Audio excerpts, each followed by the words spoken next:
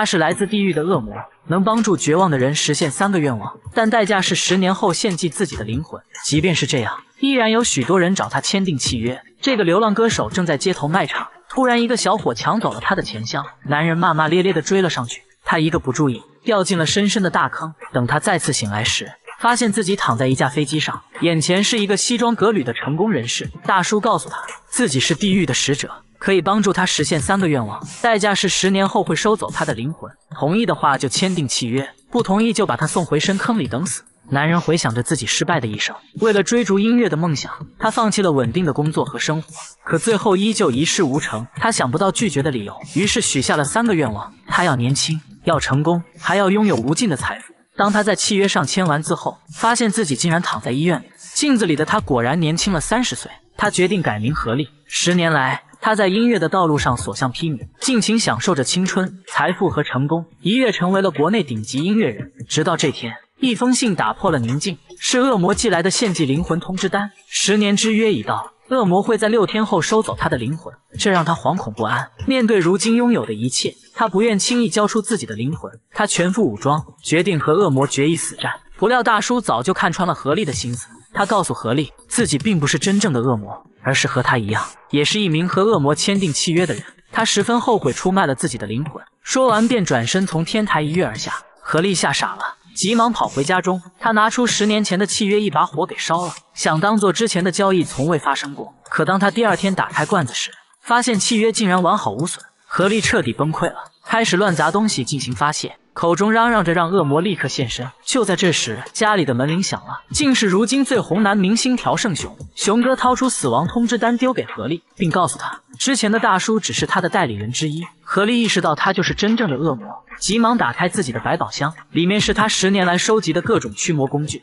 何力拿起罐子，抓了一把盐撒向恶魔。熊哥淡定的拿起盐送进嘴里，告诉他自己可不是鬼。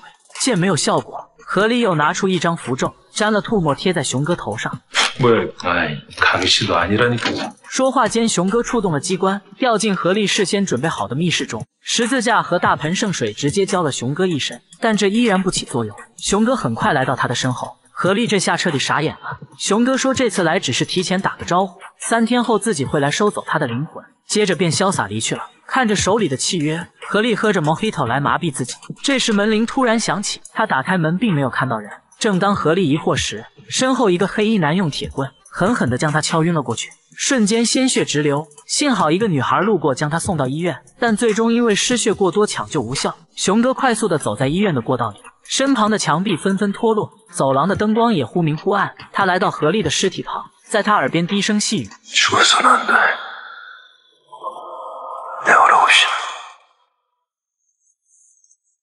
如果恶魔可以满足你三个愿望，条件是十年后收走你的灵魂，你愿意出卖自己的灵魂吗？这个恶魔对着眼前的尸体说道。说完便潇洒离开。下一秒，尸体居然睁开了双眼，心脏也开始跳动，这简直就是医学奇迹！医生和护士都看呆了。何丽在众人惊愕的目光中走了出去。此时，小雪还在对警察诉说着当时的情况。原来，她是一名餐厅的驻唱歌手，无意间发现何丽发布的新歌居然和自己的原创歌曲一模一样。于是，在何丽遭遇袭击的当晚，他拿着自己创作的曲谱来找何丽对峙，却发现倒在血泊中的何丽，便将她送去了医院。这时，何丽走到了小雪的面前，医生急忙冲出来拉住何丽，让她去做一个全身检查。何丽却淡定地说自己没事，他知道这一切都是因为自己和恶魔做了交易。第二天，小雪来警局录口供时，无意听到了熟悉的口哨声，来自眼前的这个少年。小雪想起昨晚有个人拿着钢管出现在何丽家附近，吹的就是这个调子。他立马指认少年就是凶手。眼见事情败露，少年表现出一副无所谓的样子。承认自己就是昨晚打晕何丽的黑衣人，原因是何丽每天晚上在家放音乐，打扰到他学习和休息。何丽一听立马怒了，自己明明做了很好的隔音，再说也不能因为这就对自己下毒手啊！少年却一脸不屑，嚣张的说道：“你不是没死吗？赔你二十万够不够？不够再给你加十万。”何丽抄起凳子就要砸他，却被一旁的警察拦住。趁众人不注意，少年打算开溜，却被小雪一个漂亮的过肩摔。狠狠摔倒在地。经过一番批评教育，少年被放了出来。路边的乞丐拦住他，告诉他将有一场血光之灾。少年认为他在胡说八道，骂骂咧咧的向前走去。这时乞丐的双眼变红，瞬间化身为地狱的恶魔，一把将他摁在墙上。原来他是熊哥派来的使者。恶魔愤怒的说道。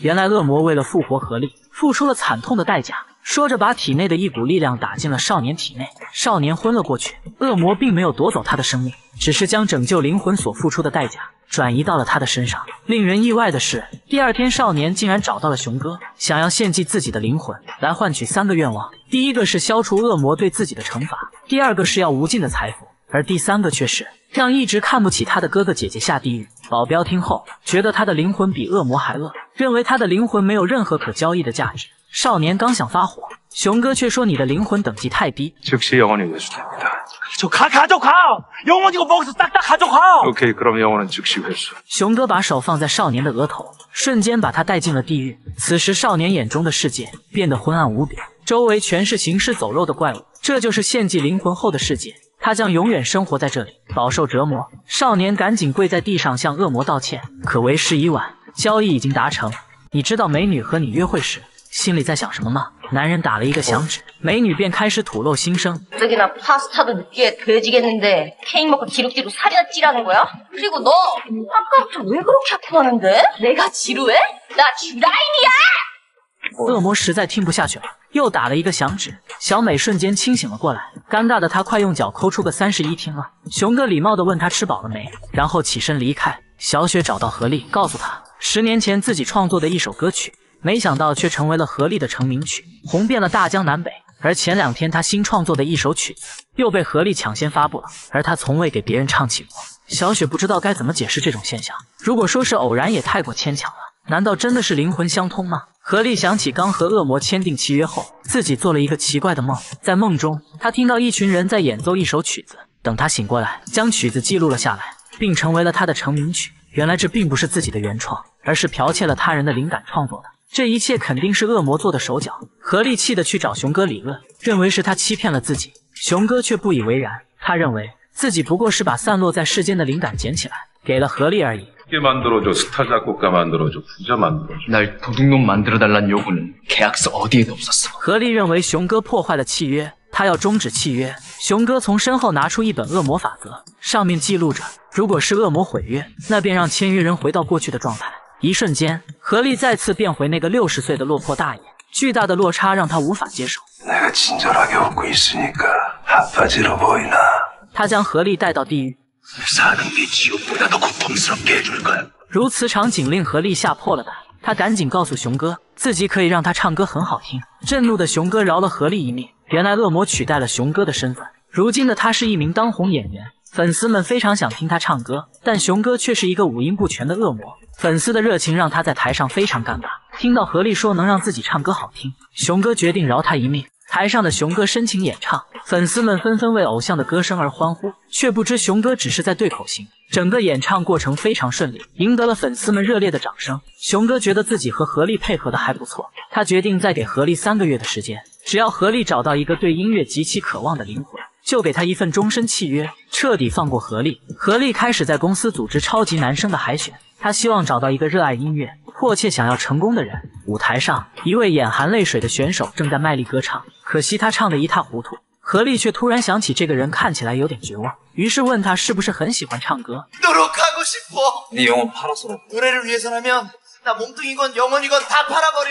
何丽一听就是你了，二话不说拉着他来到熊哥的第八号档。熊哥仔细打量了一番，表示不行，因为他的灵魂等级太低。原来灵魂分为九个等级，而自己需要的。是拥有一级灵魂的人。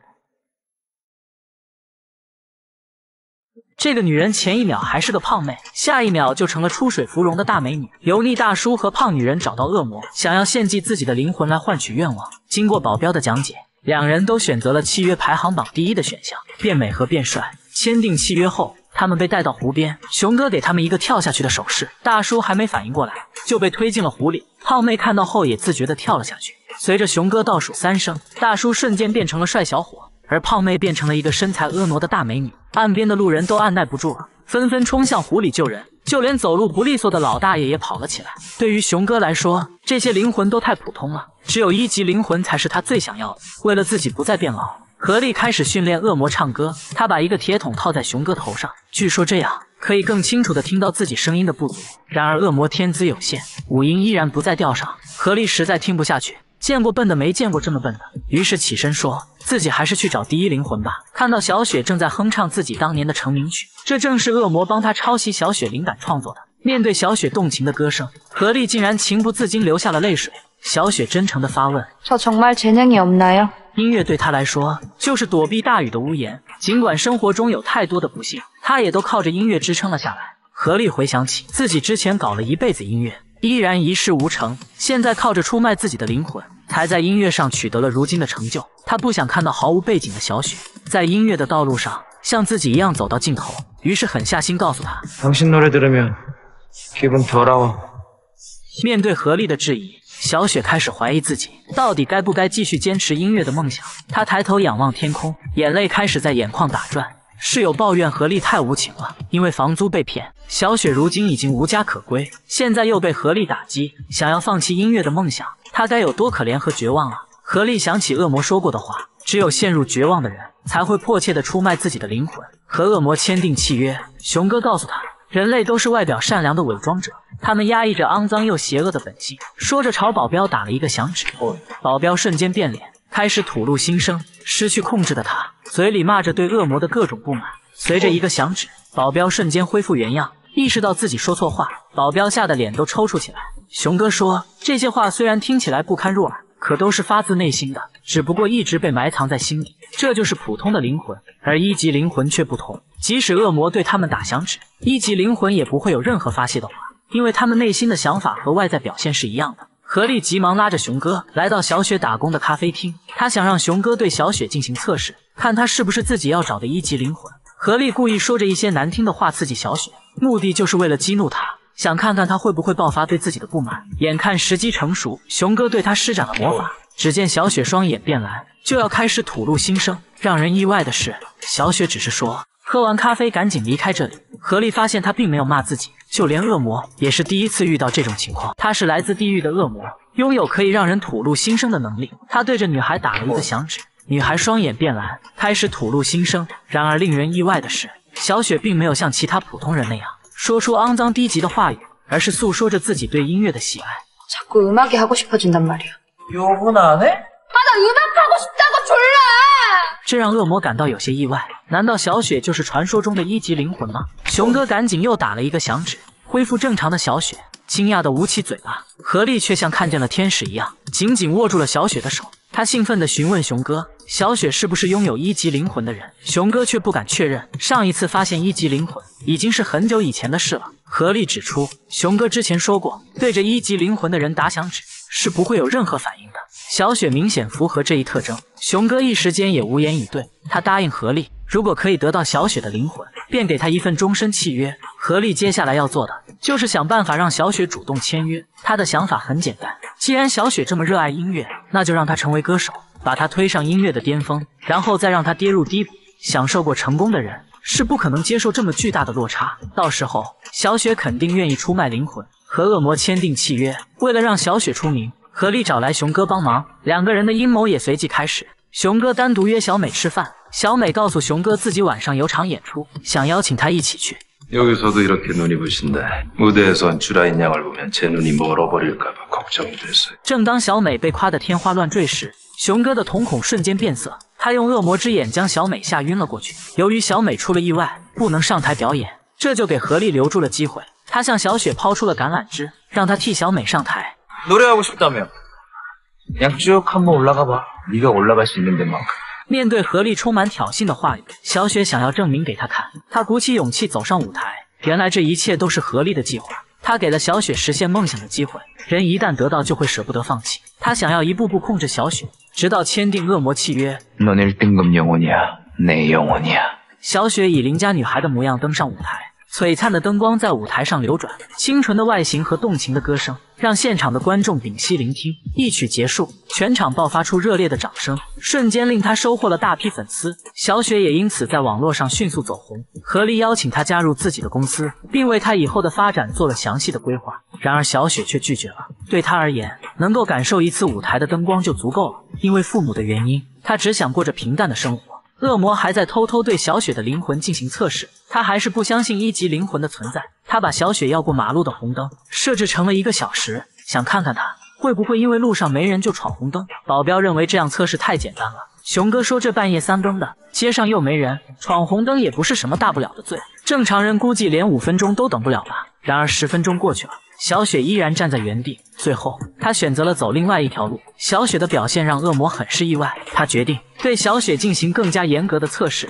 你知道网络暴力有多可怕吗？为了考验小雪，熊哥找来他的恶魔天团，开始在网络上对小雪进行攻击，并扒出他年少进过拘留所的案底，诅咒的照片也随即而来。何力找到熊哥，认为他的测试有点过头了。熊哥却说自己只是雇水军评论，并没有寄出恐吓包裹，原来是粉丝们自发行动。他们发现小雪曾进过拘留所，无法接受这样的人，所以用这种方式表达自己的立场。公司管理层召开会议，讨论是否要签约小雪。有人认为有前科的小雪会影响公司的形象。大美作为何丽的助理却说，现在人们已经把小雪跟何丽联系在了一起。如果现在不签约，公司便会成为不负责任的代表，严重影响公司以后的发展。而且小雪的才华是有目共睹的，她值得被公司签约。面对铺天盖地的谩骂，小雪跑到桑拿房大哭了一场。她找到卖鱼丸的大叔诉苦，因为自己上台唱了一首歌，就惹出了这么大的乱子。如今自己就像是跌到了谷底，没有什么比现在更糟糕的了。保镖向恶魔汇报小雪遭受一系列打击后的反应，熊哥感到不可思议。怀疑小雪是不是脑子出了问题，同时开始相信她就是拥有一级灵魂的人。当何丽再次找到小雪时，小雪爽快地跟他签订了合约，成为了一名职业的歌手。再怎么样也不会比现在更惨了吧？他开始追求自己的音乐梦想，拿到合约的何丽高兴的手舞足蹈，觉得一切都在按照自己的计划发展。他带着卢卡和小雪开始排练。卢卡觉得何丽作曲的风格和徐冬天很像，何丽怅然若失。如果自己能早点遇到这样的粉丝，或许就不会出卖灵魂了。为了提高小雪的知名度，何丽决定让她在街头进行表演。然而就在小雪赶去演出的路上，却被一群年轻人拦住了。原来这些人嫉妒小雪，草根出身爆红网络，将他堵在了胡同里，狠狠地教训了一顿。幸好何丽及时赶到，看见狼狈不堪的小雪蜷缩在角落。何丽紧张地询问她有没有事，小雪笑了笑说没事，只是深感抱歉地说。另一边，大美和卢卡已经布置好现场，但迟迟不见何丽和小雪的身影。媒体记者们也都等得不耐烦了，认为小雪刚出名就耍大牌，于是都纷纷离开。何丽送小雪回家换洗衣服，看着摔烂的吉他，两人用胶带粘补好。经过简单的整理，小雪来到演出现场。此时只剩卢卡还在等他。面对空旷的街头，他调整呼吸，开始用心的演唱。动人的歌声很快就吸引了大批观众，他们驻足聆听。一曲结束，大家纷纷为他鼓掌。演出大获成功。事后，两人在路边聊天，何丽鼓励他以后遇到困难不要逃避，勇敢面对。진짜잘했어 요。 진짜잘했어。 两人的关系也逐渐的亲近起来。 小雪想起自己曾在何丽家。见过一把沾满胶带的吉他，便问吉他的由来。因为上面的胶带是自己亲手贴上去的，而那把吉他是大叔徐冬天的。何丽惊讶地看着小雪，原来她就是那个当年自己救下的小女孩。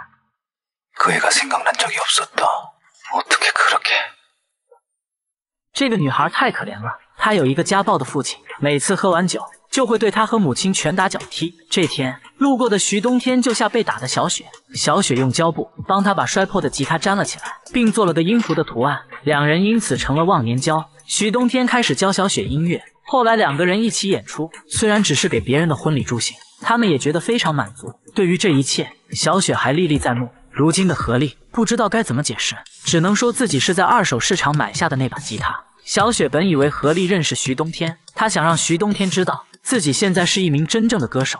何丽告诉他，徐冬天可能早就死了。小雪却不信。何丽没想到是自己开启了小雪的音乐梦想，可也是自己盗窃了她的作品。为了弥补小雪，何丽为小雪的音乐铺平道路，开演唱会，拍摄杂志封面，做新曲宣传。很快，小雪变红的发紫。粉丝也越来越多，纷纷排队找小雪要签名。正当大家都觉得小雪能收获幸福的时候，不幸却发生了。他的好朋友卢卡在过马路时，不小心被飞驰而来的卡车撞飞，命悬一线。看着倒在血泊中的卢卡，小雪愤怒地朝着天空大喊：“为什么上天总是对他如此不公？”此时，何丽闻讯也赶了过来，看着眼前的一切，何丽整个人愣住了。原来卢卡竟是他签订契约前的儿子。何丽拿着契约跪在熊哥面前，祈求他收走自己的灵魂。他愿意用自己的生命换卢卡的命，可恶魔并不同意这么做，因为契约一旦达成，便无法更改。现在唯一能救卢卡的只有小雪。在恶魔的暗示下，他拿着契约来到小雪面前，想让她签订契约，来许愿救活卢卡。见小雪没有任何反应，何丽发了疯似的朝他怒吼着。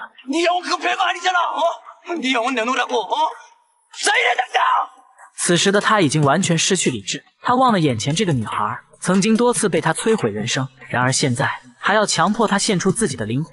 看着奄奄一息的卢卡，小雪最终拿起了笔，在契约上签下了自己的名字。当他签下契约的那一刻，卢卡随即消失在他们的视线中。第二天，躺在医院里的卢卡已经脱离了生命危险，小雪瘫痪多年的父亲也重新站了起来。闺蜜也从绝望的人生中重获了自由。然而，这一切都是小雪用纯洁的灵魂换来的。从此，她的眼中便不再有色彩，周围的世界变得灰暗丑陋。她像换了一个人一样，变得冷漠无情。她已经知道，何丽就是十年前的大叔徐冬天。她要让如今的何丽身败名裂。如果你的好朋友不幸身亡，你愿意用自己的灵魂来换取他的生命吗？何丽为了救自己的儿子卢卡。强迫小雪签下了恶魔契约，失去灵魂的她变得霸道又偏执，眼神也凌厉起来。一进公司就对着何丽发话，把其他歌手的通告都推掉吧，现在专心捧我一个人就够了。说着，拿起小美的演出服穿了起来。大美提醒她那是小美的衣服，结果她却说道：“这时小美刚好走了进来。看到小雪穿着自己的衣服，立马嚷嚷起来。小美想要上前拿回自己的衣服，却被小雪一把推倒。现在的小雪已经不是那个任人摆布的女孩。她毫不客气地把小美数落了一顿。大家对小雪的变化都异常惊讶，只有何丽知道她为什么变成现在这样。没有灵魂的小雪只会自私地想着自己。看着冷漠无情的小雪，何丽请求她不要再这样，自己会想办法要回她的灵魂，找回她失去的一切。小雪拿出十年前自己的原创歌曲，要求何丽退出公司，并停止制作音乐，否则就把她抄袭的事公之于众。卢卡察觉到小雪的变化，询问她为什么会变成现在这个样子。小雪把何丽和恶魔的交易告诉了他，得知何丽就是自己的父亲，卢卡彻底愣住了。他没想到，竟然会有如此不可思议的事情发生。何丽回想起十年前。他和小雪在一次婚礼上演出，为了凑到给儿子做手术的钱，他偷走礼金逃跑了，留下小雪一个人背黑锅。而小雪却对他没有一点怨恨，认为他一定有自己的苦衷。何丽发现自己一而再、再而三地伤害了同一个女孩，现在又夺走了她的灵魂，觉得自己真不是个东西。内疚的他找到恶魔，说自己不需要终身契约了，想用自己的灵魂来换回小雪的灵魂。熊哥却恶狠狠地拒绝了他。心灰意冷的何力拿出自己的大宝剑，一剑劈向恶魔。下一秒，熊哥出现在了他的身后，手握恶魔之剑，一下刺穿了何力的心脏。由于跟恶魔签订了契约，何力拥有着不死之身，伤口很快就愈合了。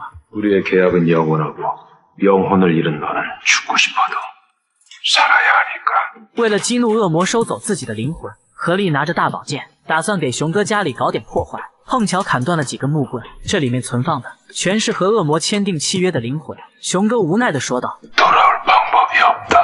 看着满天乱飞的灵魂，何丽意识到自己闯下大祸，赶紧向熊哥求救，询问飞走的灵魂还能回来吗？”